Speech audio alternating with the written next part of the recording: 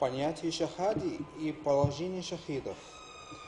Хвала Аллаху Господу миров, который говорит в своей священной книге «Ващухадау инда раббихим лахум аджурухум ва нурухум» А павшие мученики находятся возле своего Господа, и ему готовы их награда и их свет. Сура Железа, аят 19.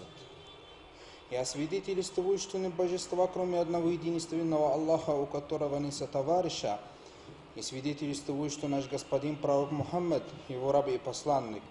Да благословит Аллах пророка Мухаммада, его семейство, высокочтимых и многоуважаемых сподвижников и тех, кто последовал за ними искренне вплоть до судного дня. А затем Всевышний Аллах избрал определенных рабов и наделил их шахадой, мученичеством. В Священном Коране говорится, وَلِيَعْلَمَ اللَّهُ الَّذِينَ آمَنُوا وَيَتَّخِذَ مِنْكُمْ شُهَدَاءَ чтобы Аллах узнал у веровавших и избрал среди вас павших мучеников. Сура семейства Имрана, аят 140. Причем понятие шахади многозначно, а шахиди, мученики, так называются, ибо всемогущий Аллах и его ангели засвидетельствовали, что шахиди попадут в рай, где будут живы и получат удел у своего Господа – Ему готово на блаженство. Могущественный Аллах непременно выполнит правдивое обещание, которое им дал.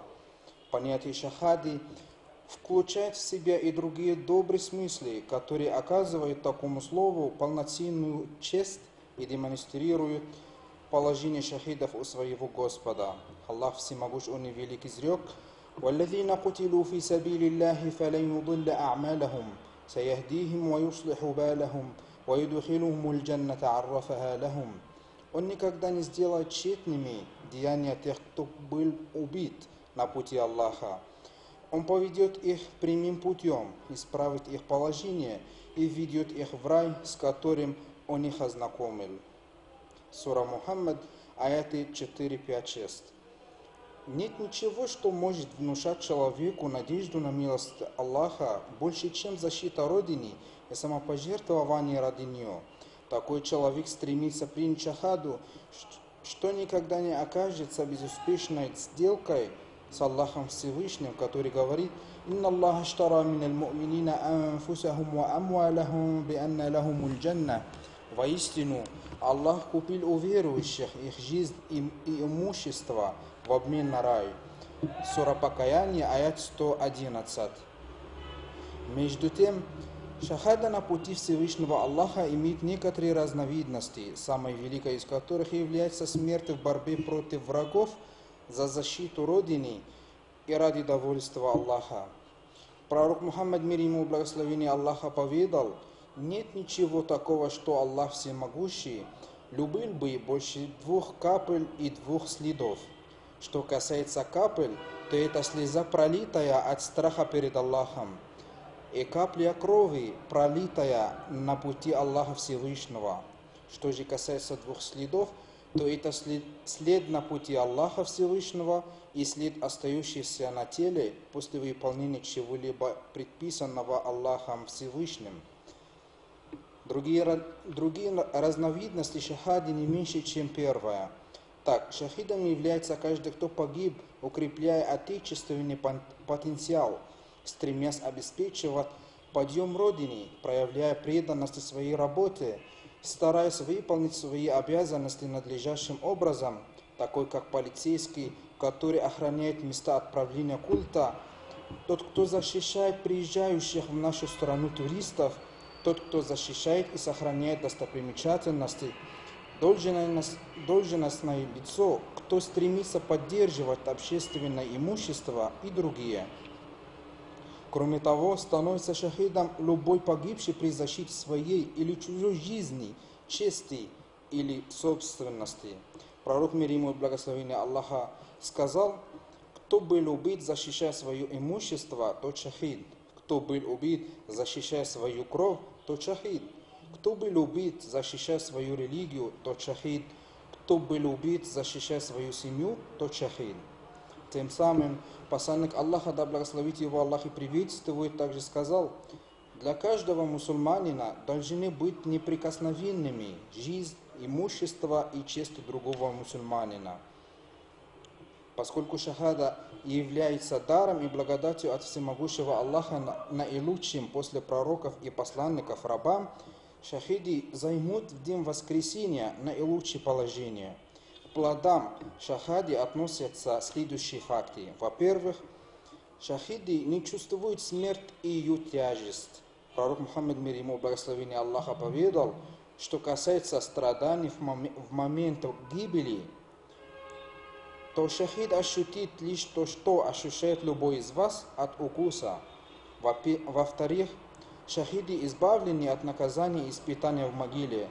Передается, что один человек сказал, «О посланник Аллаха, почему все люди будут испытаны в могилах, кроме шахида?» На что он, да благословит его Аллах и приветствует, ответил, хватит ему испытания, сверкания мечей над его головой. В-третьих, их праведные дела никогда не завершаются.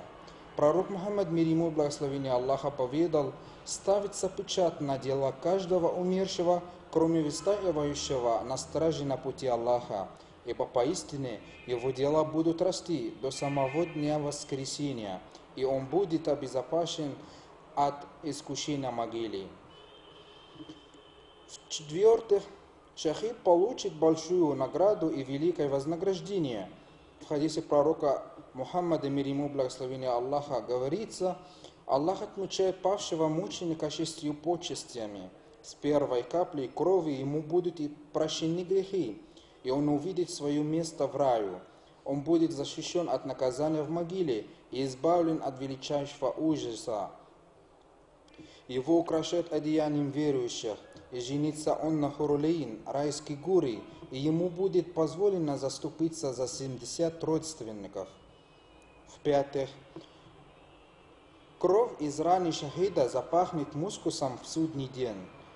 Посланник Аллаха, да благословит его Аллах и приветствует, сказал – клянусь тем, в чьей длани душа моя, любой человек, получивший ранение на пути Аллаха, и Аллаху же лучше знать того, кто получает ранение на его пути, обязательно явится в день воскресения со своей кровоточащей раной, которая будет иметь цвет крови, а аромат ее будет ароматом мускуса. Вот что я хотел бы сказать. Я прошу Аллаха прощения и для меня, и для вас. Хвала Аллаху Господу миров, мире благословения печати всех пророков и посланников, нашему Господину Мухаммаду, его семье, сподвижникам и всем, кто наилучшим образом последовал за ним вплоть до судного дня.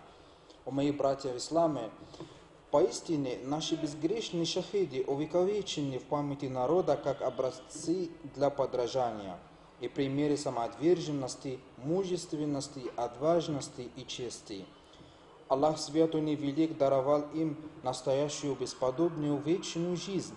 В Священном Коране говорится, ولا تحسبن الذين قتلوا في سبيل الله أمواتا بل أحياء عند ربهم يرزقون فرحين بما آتاهم الله من فضله ويستبشرون بالذين لم يلحقوا بهم من خلفهم ألا خوف عليهم ولا هم يحزنون يستبشرون بنعمة من الله وفضل وأن الله لا يضيع أجر المؤمنين Никоим образом не считай мертвыми тех, которые были убиты на пути Аллаха.